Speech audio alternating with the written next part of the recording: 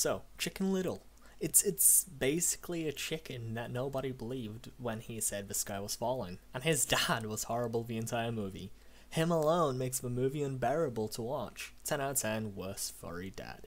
You want to watch a good furry movie? Watch Zootopia. There is no reason to watch Chicken Little.